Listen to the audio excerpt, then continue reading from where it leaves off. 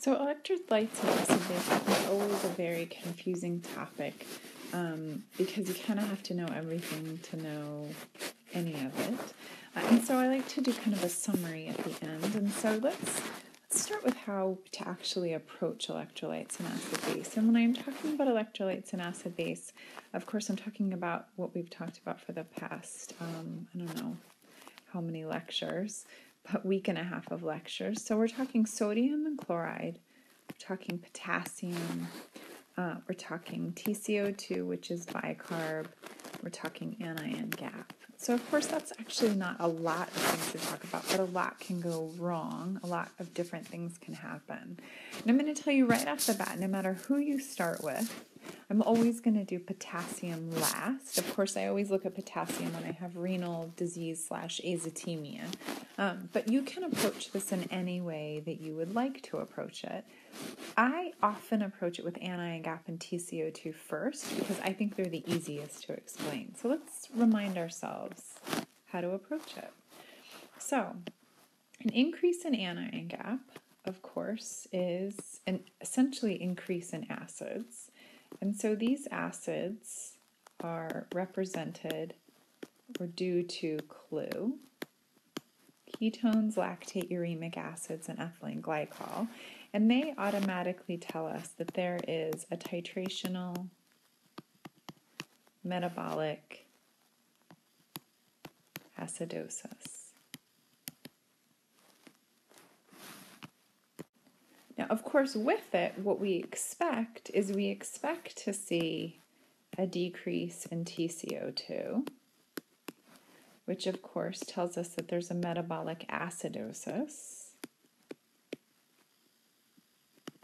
Which is why some people start with the metabolic, they actually start with the TCO2. Because, of course, a TCO2 decrease can be due to different things. One of them, of course, is a titrational metabolic acidosis, and of course, that would be supported by the increase in anion gap. But the other is a loss acidosis, where you actually have a loss of bicarbonate.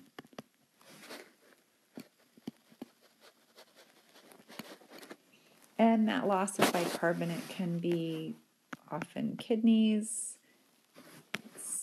can be through the kidneys, especially acute kidney injury and diarrhea are the main ones that can happen.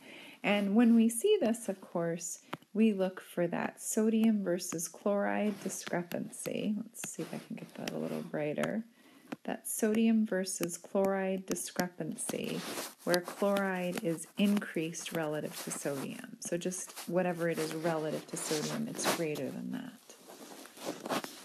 So you might also see azotemia with that. So again, you can start with anion gap or you can start with TCO2. Now the other option, of course, is an increased TCO2. And this equals a metabolic alkalosis.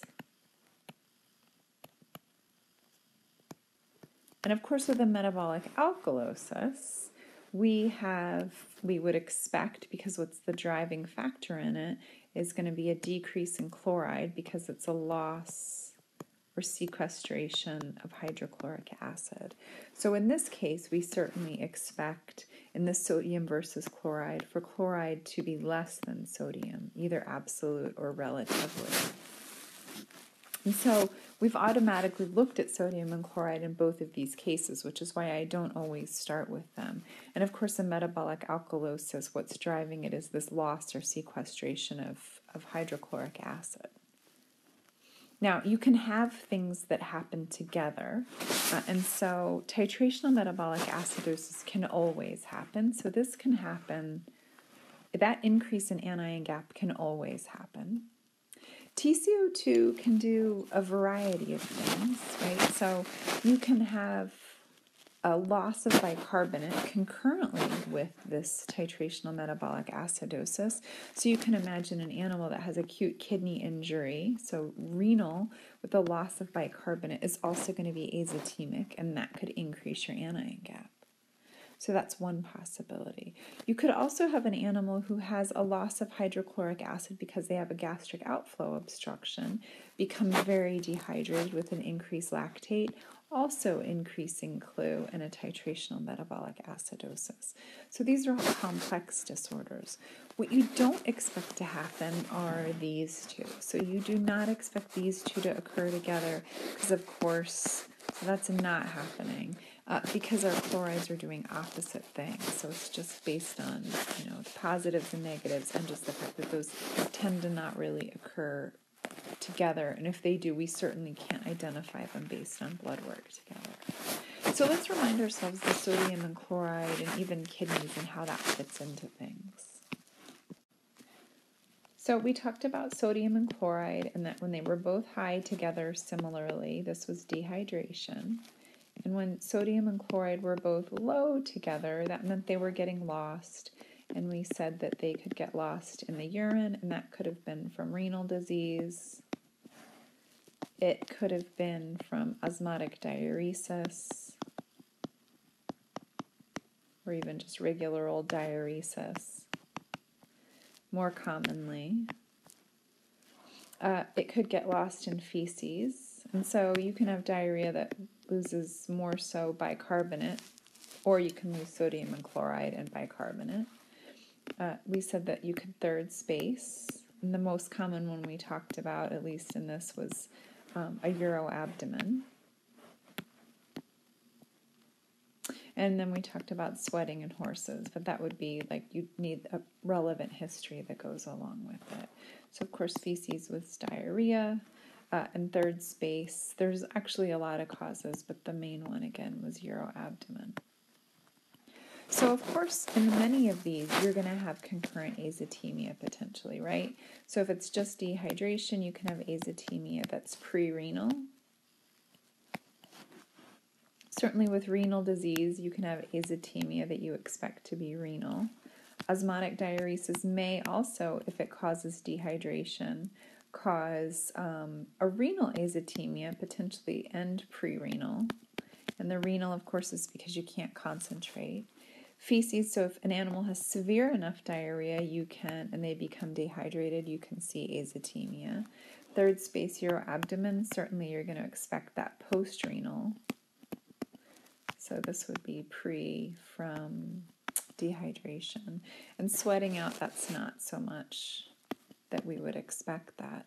So just thinking about how you may have concurrent azotemia. And of course, anytime you have azotemia, you can have an increase in anion gap due to KLUE and a titrational metabolic acidosis. So those are some things to consider. And then we have our situation where we have, so now we have sodium, that's less than chloride, meaning that chlorides increase relatively. And we said that this tells us that we have a secretional metabolic acidosis, which I think without the columns this is hard to understand. And of course, this is due to a loss of bicarb, which we talked about on the last page. And of course, if you have where sodium is greater than chloride, that would then suggest that you have metabolic alkalosis. And it's very easy to overinterpret these things. That's the job of a clinical pathologist. And of course, that's due to a loss of hydrochloric acid. Now, I saved the best for last, which is potassium. And I like looking at potassium last, although I will look at it in animals with azotemia. And the reason I like looking at it last is, of course, because it, it changes. A lot of things change potassium um, or affect potassium. And so we always have to talk about, because of course we care the most about increases in potassium. Uh, but we care about decreases as well because that's significant. So we have to talk about renal excretion, and having decreased renal excretion of potassium. And we can have shifting, so intracellular fluid to extracellular fluid shifting of potassium. So then why do we get decreased renal excretion of potassium? Well, we have a couple possibilities. One, we have anuric or oliguric acute renal failure, acute kidney injury. So, of course, in these patients, you're going to look for a pretty marked azotemia, maybe evidence of renal tubular injury, maybe no urine being made, lily toxicity in cats, ethylene glycol, you name it. Uh, you can have um, post renal causes. So these are, that's not really working. Let's try it again. So post renal things like uroabdomen and urinary obstruction. That's my abbreviation for uroabdomen. And then, of course, a lack of aldosterone, which we haven't officially done Addison's yet, so don't freak out about that. So, a lack of aldosterone and of course, in all of these, you can see azotemia, these two especially. But in an Addisonian animal, they become rapidly dehydrated because of the aldosterone lack, and they lose sodium and chloride because they can't retain them. So, again, though, decreased renal excretion of potassium. So, you, you're going to have to look at other things going on in our patient. So, the intracellular to extracellular shift of potassium, we've only talked about one of the causes yet, and of course, that's acidosis. And now you know that you can look at your uh, TCO2. And if your TCO2 is low, that's certainly potentially going to contribute to that. But this really shouldn't be that high. It should be a relatively mild increase.